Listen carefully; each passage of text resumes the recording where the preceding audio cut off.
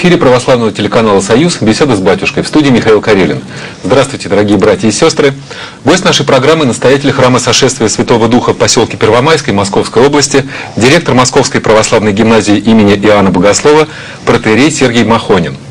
Здравствуйте, отец Сергей, благословите наших Добрый вечер, да, Бог благословит. Всех. Дорогие друзья, с отцом Сергием мы продолжим тему православного образования – начатую в предыдущую нашу встречу. Сегодня мы поговорим об обучении в православной гимназии. Отец Сергий, первый вопрос. А зачем вообще нужны православные школы? Ведь не вы сами, да и никто другой из современного духовенства гимназии, тем более православных, не заканчивал, а священниками, однако, стали. Ну, э, знаете, э, говоря языком таким современным, это отзыв или отклик на э, некую такой, сказать, или на запрос определенной части общества. И э, первые школы появились э, как раз в России в 90-м и в 91-м году. Это самые первые школы, первые официальные школы, это гимназия Радонеж, потом вот наша школа, школа значит, в Сабурово, традиционная гимназия, Свято-Владимирский образовательный центр. Это был э, было веяние времени, потому что можно сказать, что вот этот подъем религиозного сознания на рубеже, когда праздновался широко э, юбилей крещения Руси, э, это был такой, я бы назвал его военным языком, такой своеобразный призыв людей в церковь. И очень многие пришли, и кто-то стал священником, Э, кто-то, э, так сказать, иной какой-то занял свое место, э, какую-то нишу нашел в церковной ограде. И в это время вот люди, которые, может быть, и не было четкого такого внутреннего еще, так сказать, сформированного церковного религиозного мировоззрения, очень многие были недовольны тем состоянием образования, которое у нас уже тогда было. И э, э, так как-то вот, как некий такой живой бродильный элемент, вот э, таким образом э, в сознании э, людей такая мысль была. И люди стали приходить и как-то думать о том, чтобы вот создать э, такие школы. Мы создавали свою школу на базе государственной школы, просто в рамках государственной школы 11.30 в Крылатском. Э, пришли родители, мы в течение года занимались ее созданием, в течение учебного года, и уже к началу э, сентября 1991 года сформировалось количество определенное желающих учиться в такой школе, и э, милостью Божией директор школы согласилась открыть такие классы. И вот мы открыли такие классы, годик мы в рамках школы поработали, а потом мы уже сами самостоятельно стали жить. То есть это вполне такой живой процесс. А то, что мы их не заканчивали, их их просто не было. И вообще говоря, современная православная школа – это новый тип учебного заведения. О нем еще можно долго говорить, рассказывать, это отдельная проблема. Ну, так, а чем же православная гимназия отличается от обычной э, средней общеобразовательной школы? Вот в части преподаваемых в ней э, предметов или э, принятых в ней правил? Ну, во-первых, все-таки ну, православные школы, такие с уже устоявшимися какими-то традициями, достаточно известные, о которых я вот, например, говорил, они все-таки имеют, во-первых, мы э, принимаем людей все-таки из православных семей все-таки конфессиональное учебное заведение. То есть как бы просто так с улицы прийти в школу достаточно сложно. Э, во всяком случае, в нашу школу прийти. Э, мы на многие обращаем внимание здесь э, качество. В первый класс мы принимаем прежде всего, конечно, родителей, даже в меньшей степени детей, именно родителей, чтобы не было в дальнейшем каких-то разногласий не творческого такого, не созидательного характера, чтобы мы все э, составляли некое такое единство церкви, семьи и школы. То есть церковь, это, это в общем-то, часть церковной ограды, некий такой, э, некоторые школы вот создавались в рамках своих приходов, как, например, у отца Артемия Владимирова, так сказать, или традиционная гимназия, которая объединяла людей, так сказать, прихожан значит, храма святителя Николая в Кузнецове, Кузнецах, или значит, вот когда отец Алексей Уминский, еще э, Свято-Владимирский центр, это тоже, это были приходские такие больше э, организованы. А наша школа, она оказалась такой, знаете, как бы объединившей в себе людей из более чем из 40 приходов Москвы и Московской области. У нас учатся дети из разных очень приходов. Поэтому здесь, э, э, чем, чем она отличается от обычной школы? В, системе преподавания практически нельзя уж и сказать так строго, что очень сильно отличается, потому что мы обязаны, как учреждение образовательное, это я уж термин такой профессиональный говорю, выполнять то, что называется образовательным стандартом, то есть некие определенные требования к системе образования. Вот, и поэтому мы проходим лицензирование государственное, сейчас проходим пятую уже аккредитацию, э, наш 20-летний практически уже путь жизненный. И э, мы преподаем все те же предметы, что преподается в школе. Но, естественно, у нас преподается закон Божий, хотя некоторые православные школы, например, э, не преподают в силу сложности, так сказать, программ, загруженности большой. У нас преподается церковно-славянский язык, э, у нас преподается э, значит, литургика, то есть изучается богослужение. Ну и пение имеет такую направленность особенную, помимо знаний таких основных по теории там, музыки, каких-то исторических, Э, то, что в программе положено, есть еще церковное пение. Собственно, вот э, такие, ну, естественно, сам, сам, сам характер преподавания и в части естественно, научных дисциплин в корпусе и э, особенно в гуманитарных, он, естественно, содержание образования, это все-таки православное мировоззрение, на основе православного мировоззрения. Вот что отличает, наверное. Но и сам дух школы, это, уж, это уже свое, так, это, вот, собственно, такое отличие. Батюшка Сергей, а по каким критериям вот вашу православную гимназию нанимают педагогов, набирают учащихся? Ну, э, значит, э, по каким критериям э, педагогов мы принимали и принимаем? Тут, как говорится, когда мы начинали, это был, был один уровень. Мы просто знакомых своих близких приглашал. Среди филологов у нас были хорошие всегда связи, это было проще гуманитариев найти приходили э, очень разные люди, и там как бы, первые, первые годы достаточно сложно было, например, вот найти э, очень хорошего квалифицированного педагога в начальной школе. Ну, а потом, милостью Божией, такие люди пришли, и мы, конечно, отдаем предпочтение здесь, ну, во-первых, э, чтобы все-таки человек был православный, ну, и, во-вторых, он должен быть профессионалом своего дела. То есть человек должен э, грамотно, квалифицированно, с большой любовью, с, ответственностью определенной выполнять свое послушание учительское, то есть быть хорошим преподавателем. И э, были случаи, когда мы брали не совсем еще воцерковленного педагога, и он воцерковлялся по мере уже значит, вот, работы с детьми у нас в школе. А детей, ну это вот прежде всего, конечно, мы берем детей из церковных семей, прежде всего. Э, в редком случае брали им иногда, может быть, еще так, когда э, берем, э, когда мы видим что семья искренне хочет выцерковиться, то есть это не поддельный такой нелицемерный интерес, не просто там спрятать ребенка вот от какой-то современной, э, тяжелой, может быть, не всегда комфортной школьной или какой-то иной ситуации, а как, как некое бегство от мира. Вот, э, вот так, критерии очень простые. Ну, я уже говорил, что в первый класс мы принимаем родителей. Вот это единство церкви, семьи, школы должно быть, это очень важно. Иначе, понимаете, будут не те разномыслия, о которых апостол Павел говорит, что надлежит быть разномыслием, дабы открылись искуснейшие.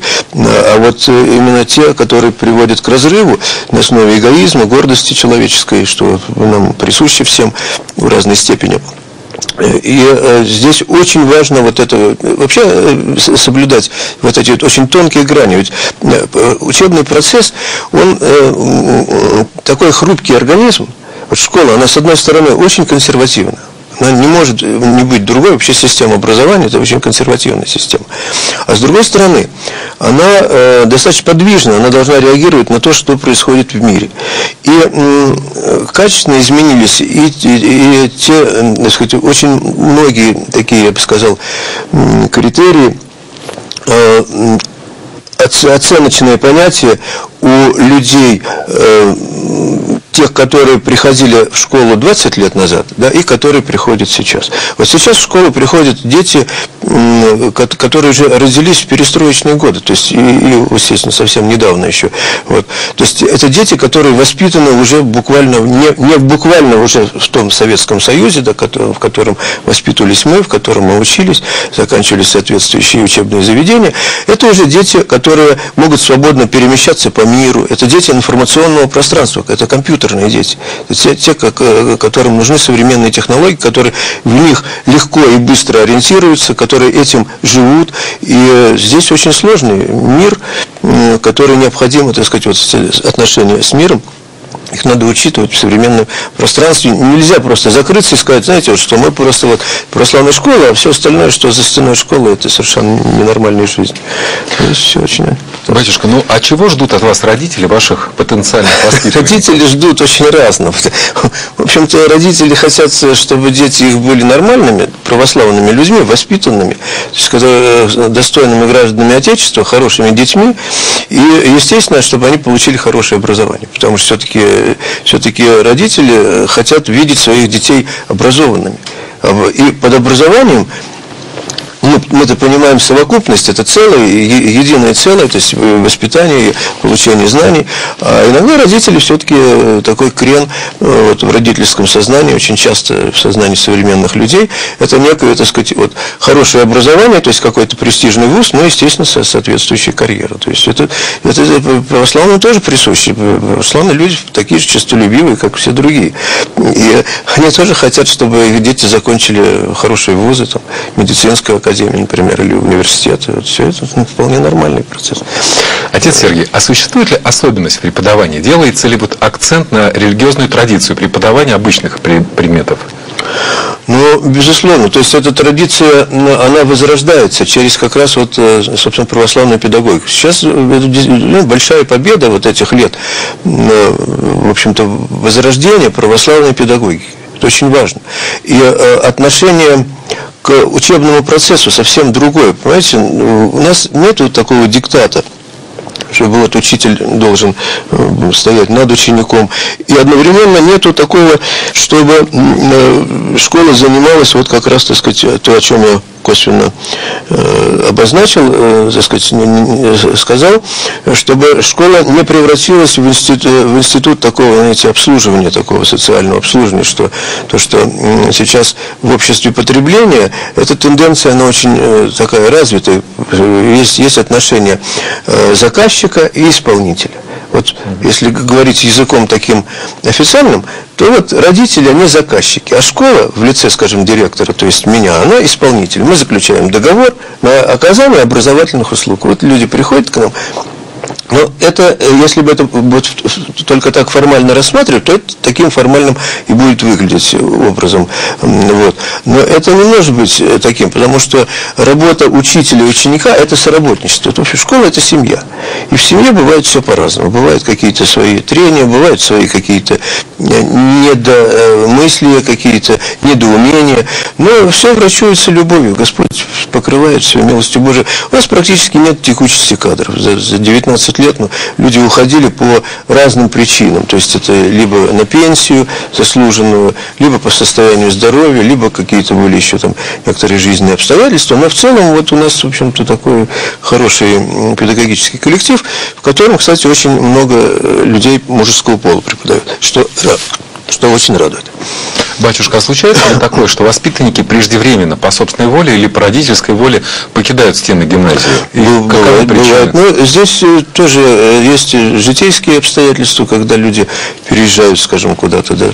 Э, бывают некоторые и со стороны детей такие интересные очень странности, когда ребенок начинает как бы вот стремиться себя как-то, как теперь выражается, идентифицировать э, в мире, и он стремится в этот мир. То есть мир его начинает затягивать со своими привычками, со своими рекламами, то есть с той дозвольностью, которая, которая присуща его, скажем, сверстникам во дворе или где-то там в соседней школе. А родители как-то это пытаются сдерживать, может быть, не всегда удачно. И ребенок все равно, достигая определенного возраста, он просто либо ультиматум ставит родителям своим, либо просто начинается разрыв, понимаете? То есть он не может выполнить тех требований, которые предъявляет ему школа, ни в нравственном, ни в учебном смысле. Как правило, это сейчас сопряжено и с учебой, потому что учеба становится тоже, так сказать, не, не очень хорошей, не очень нормальной. Э, и э, срабатывает иногда такое родительское эгоистическое очень чувство, когда свой ребенок, естественно, как своя рубашка, ближе к телу, то есть и свой ребенок, он э, воспринимается, собственный ребенок, как фактически вот э, ангел. То есть э, те недостатки, которые у ребенка есть, на на это часто родители закрывают глаза и идут на поводу. Такое случалось. Даже одна девочка целый год свою маму мучила. В полном смысле мучила. То есть она ходила в школу и говорила, что у нее болит живот. Это было на повод, чтобы не ходить в школу. И мама тратила время, деньги, ходили к врачу, э, обследования проводили. А просто ребенку вот таким образом не хотелось ходить в школу, и не хотелось учиться. Естественно, они ушли. Бывают случаи, э, ну, они редкие такие, когда что-то, допустим, не устраивает вот семью. То есть, ну, понимаете, не устраивает родителей какой-то. Вот им кажется, что должно было быть так, а вот это так. То есть, и при том, что индивидуальный характер э, как обучения э, мы стараемся как-то сохранить индивидуальный подход, учитывая и физические возможности, и материальные какие-то значит, возможности да, людей, и психологические какие-то особенности, духовные состояния определенные э, наших родителей и детей. Это все по мере сил стараемся учитывать, но иногда бывают такие недопонимания. То есть это, в принципе, вполне нормальный такой живой процесс, и он был присущ вообще всегда жизни, потому что ведь э, когда строится семейная жизнь, это ведь тоже, понимаете, очень сложно. Надо путь соли съесть, э, чтобы узнать человека и притереться, узнать друг друга. Это всегда жертвенность. И в этом процессе вот соработничество очень, очень важно, потому что родители у нас институт классных наставников, ну, они же, как правило, и педагоги тоже, э, вот э, такой, есть совет наставников, и практически каждый, э, ну, не практически, а каждую неделю, это, это точно, проходят такие встречи, на которых мы обсуждаем какие-то проблемные ситуации за текущую неделю, или какие-то намечаем какие-то важные такие духовно-нравственные, воспитательные какие-то моменты, которые, на, на которые надо было более, так сказать, акцентированно обратить внимание. Это вполне живое такое, все, все живое общение со всеми недостатками современного сознания религиозного, которому немного лет, так сказать, вот, после Возрождения, со всеми э, искушениями материальными, материального мира, то есть они также не проходят стороной, и бывает, что человек э, вот из бедной, допустим, семьи, и каким-то, ну, может быть, это тоже недостаток домашнего воспитания, может быть, какие-то и иные причины существуют. Вдруг смотрят, вот а рядом э, человек богатый, из богатой семьи, благополучной семьи, воспитанной, и эти вот моменты тоже очень важны, их надо тоже учитывать.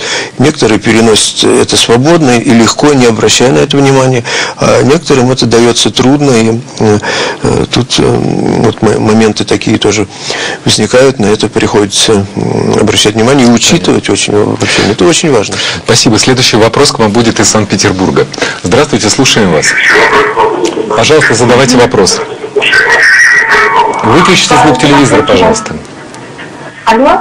Слушаем вас, ваш вопрос. Да, здравствуйте, батюшка. Подскажите, пожалуйста, как вот поступить лучше, как объяснить ребенку, ему пять лет, и мы посещаем воскресную школу храм Святой Екатерины.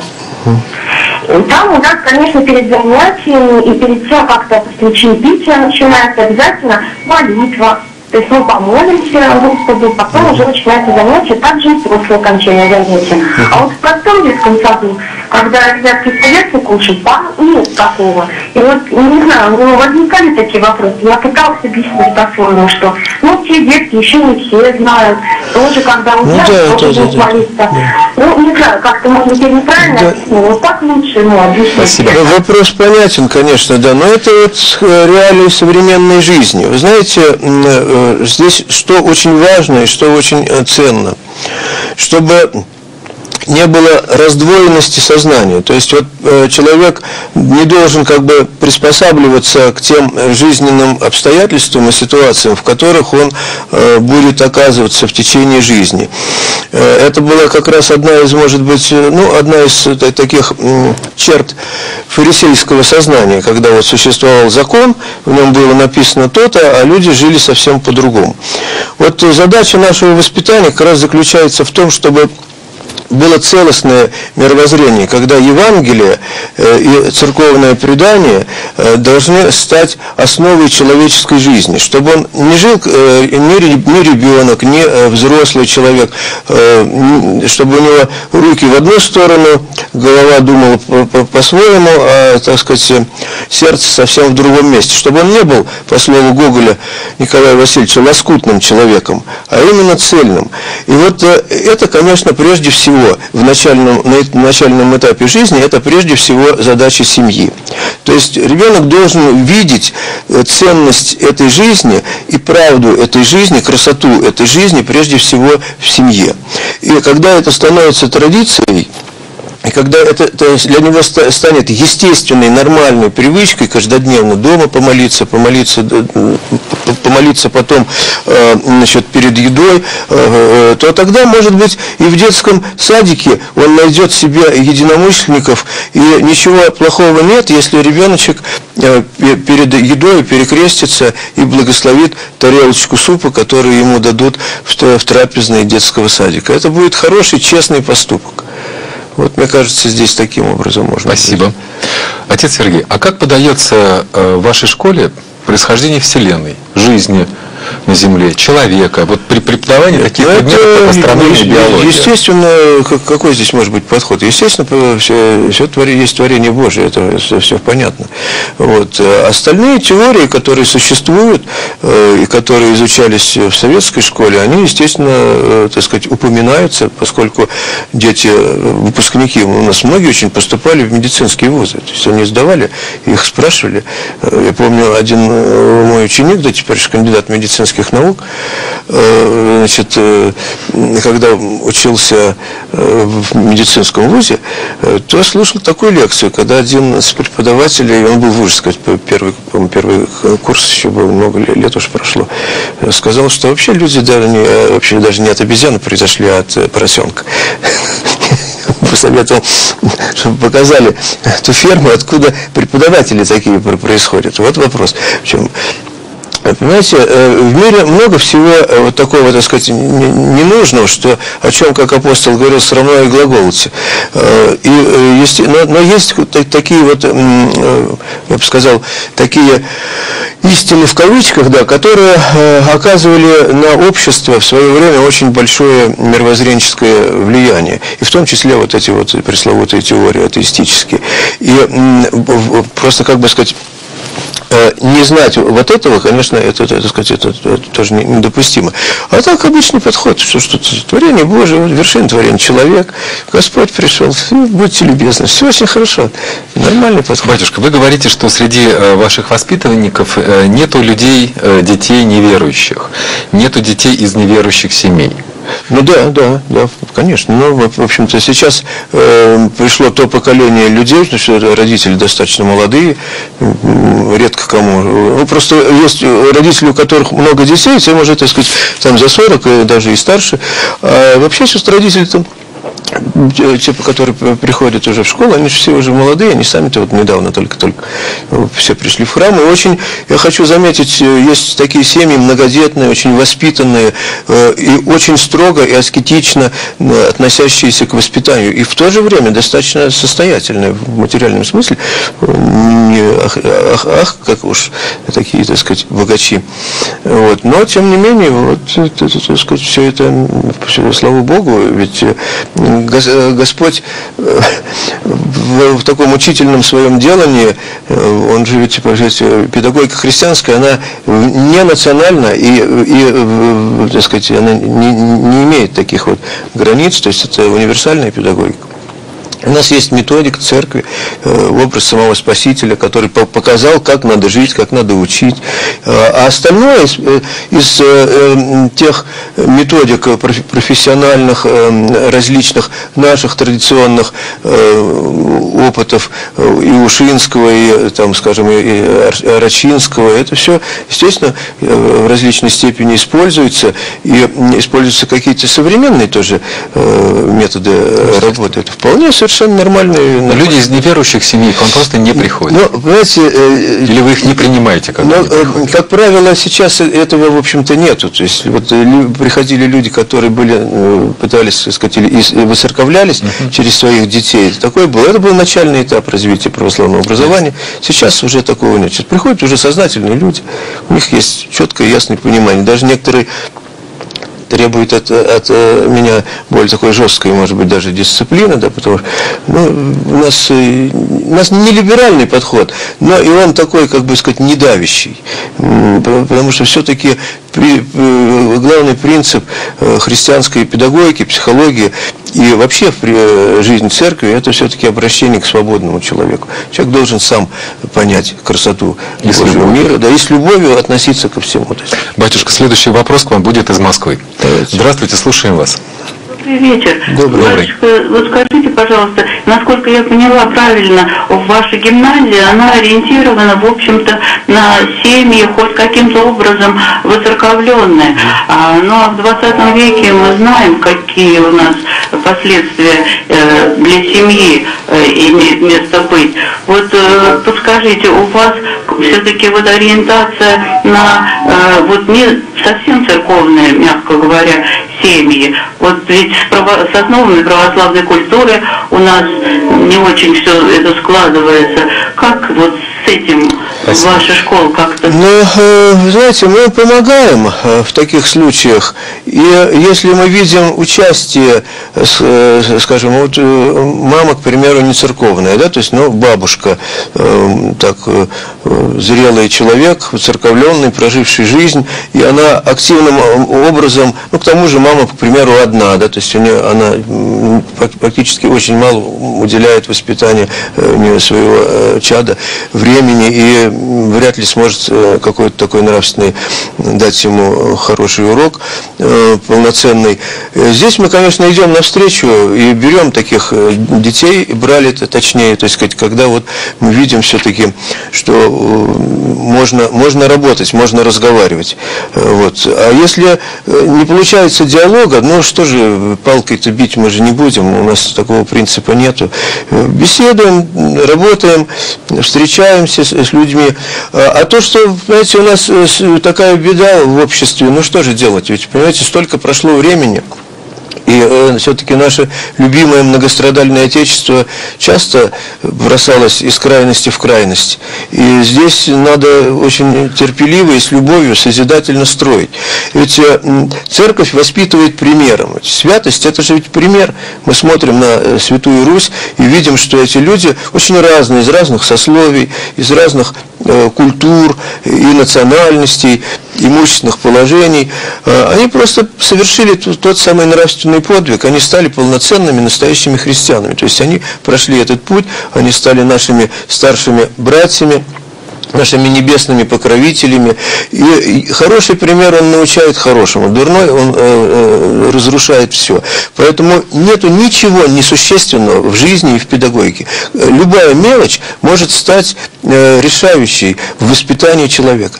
Понимаете, вот когда по, по мелочам э, э, мы какие-то мелочи в нашей жизни и в, том числе в учебном, воспитательном процессе не обращаем внимания, вот накапливается ворох этих мел- мелочей. Вот поднимите э, с- 100 камешков, э, это будет уже неподъемный груз. А бывает один камень какой-то, так сказать, может и тяжелый, но вполне подъемный. Так с грехами, так с воспитанием.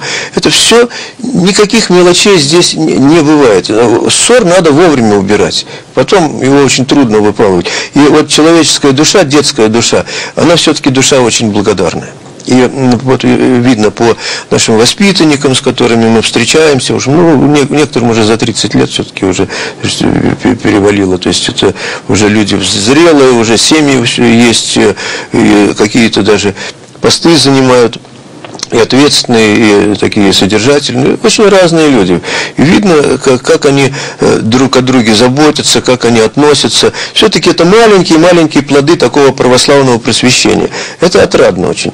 Дай Бог, чтобы это все это, все это было, потому что все-таки э, нельзя, чтобы человек из детства выносил э, в, в жизнь, в зрелую, в которой ему идти, строить, выносил самое дурное, которое уже с детства в нем заложено. Он видит только это дурное, он слышит только разговоры о том, как бы вот, что, какую-то карьеру сделать, как бы побольше денег – заработать. Это, это все, конечно, важно в жизни, в разной степени, но это не может быть смыслом жизни, понимаете, не может быть, потому что нравственный человек, это христианин, христианин это, это все-таки нравственный человек, это очень важно для нас, созидатель. Иначе мы пропадем, тогда ничего не будет в России.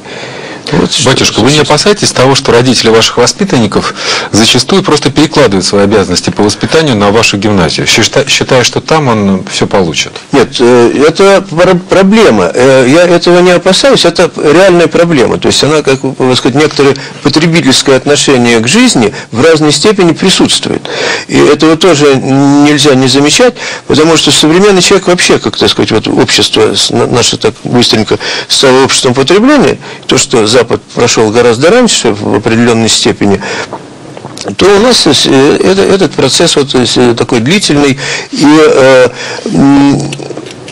есть такая инерция движения и инерция сознания э, родительского. Э, удобно как бы отстраниться от э, некоторых проблем, видеть в своих детях только гениев и не замечать какие-то дурные поступки, о которых я уже сегодня говорил. И, как бы, так сказать, переложить груз ответственности на школу. Такое присутствует. Слава Богу, не часто, но в силу разных жизненных обстоятельств это, это есть, да, это безусловно есть. Это проблема проблема воспитания и не только э, детей, но и родителей самих, потому что здесь очень тонкая такая грань э, взаимопонимания, когда родители вот, сказать, делают, как ему удобно, скажем, раз, взяли и уехали, все вот, ну, например, надо было быть в школе в этот день, они куда-то, так сказать, отправились в благочестивое паломничество, потому что у них такое вот, это условно говорят, может быть, еще куда-то. Это вот э, вопросы серьезные. А потом накапливается груз нерешенных учебных проблем сразу же, когда пропуски, ни с того ни с сего, ничем не оправданные, пропуск по благочестию, это, знаете, странный такой подход. Это я не хочу что-то делать, вот э, я пойду в храм. Это, так сказать, способ убежать от своего послушания. Мы ходим все в храм, у нас, как, как во всех практически православных школах, каникулы, есть все-таки пасхальные каникулы, есть э, какие-то неучебные дни, ну, два на десятый праздник, иные какие-то чтимые праздники. Но есть и послушание, если его плохо делать, то не будет никакого результата, а Бог ленивым не помогает. То есть потом уже не, не, нечего уже на зеркало пенять. Тут вопрос такой. Вот, собственно. Батюшка, а как вы считаете, вот способствует ли преподавание закона Божия укреплению веры? Ведь, как показывает опыт европейских стран, в которых закон Божий обязателен, там все меньше людей считает себя верующими. Да и э, в дореволюционной России было же да, да, подобное да, образование. Да, да, да были семинарии. Но, показывает практика, что очень. именно отличники и хорошисты из э, семинарии и гимназии да, разрушали храмы, да. оскверняли и расстреливали потом тех же священников. Да, было, было и такое, что что ты скажешь, это факт исторический, с этим, сказать, нельзя не считаться. Э, я полагаю, как это зависит от того, как преподавать. То есть вот э, э, э, это ведь особенно, то есть что, собственно, что такое закон Божий?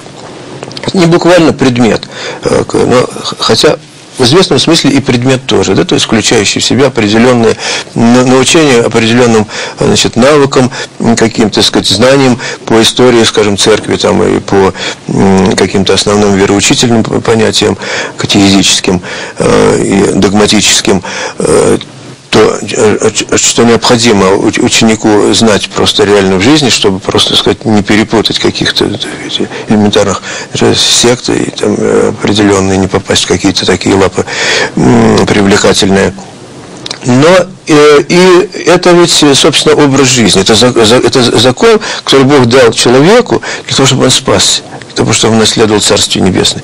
И его просто так декларативно не введешь преподается, и каждому, каждой возрастной группе, и каждому поколению нужно его по-своему как-то преподавать.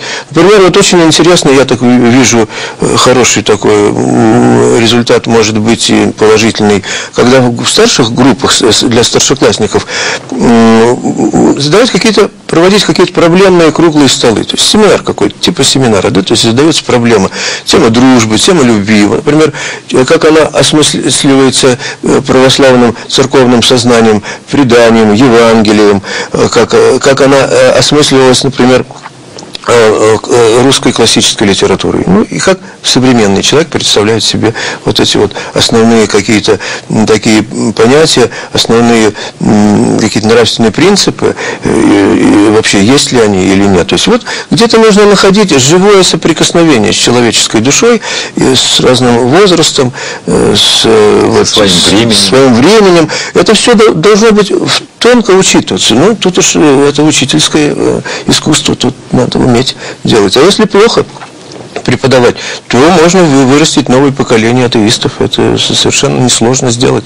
Вот, и поэтому вот, все, что вводится насильно, то это, понимаете, Достоевского мы приводим постоянно, знаменитый его пример, когда Федор Михайлович говорит, вот когда будет построен муравейник большой, вот появится на вершине этого самого муравейника, где все будет провозглашено братство, равенство и свобода в своем роде. Вот. Господин с ретроградной физиономией и скажет, они послали нам это все, не разрушили нам этот муравейник. Вот везде есть опасности. Надо ко всему относиться очень тонко и очень отзывчиво, с любовью, с любовью всегда. Не надо уповать на Господа, делать свое дело честно, и все будет хорошо. Все, слава Богу. Спасибо. Отец Сергий, святейший патриарх Кирилл в прошлом году, если не ошибаюсь, предостерег православные гимназии от превращения вот в элитарные, дорогостоящие учебные заведения.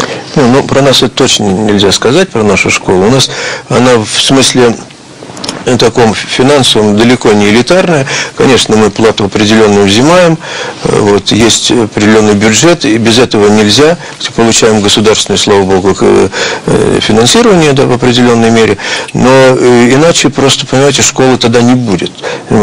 Можно будет делать вид, что люди будут преподавать, надо же все-таки, чтобы педагог не до 10 работах работал, а получал достойное жалование, потому что учитель, как и всякий делатель, достоин достойную, достойную зарплату. Мы не можем платить огромных каких-то зарплат, о которых даже сейчас вот говорят официально по нашим средствам информации массовые, сколько будет получать учитель в Москве. У нас таких зарплат нет. У нас зарплаты пониже. Но люди работают, слава Богу, как говорится, не, сказать, они работают честно.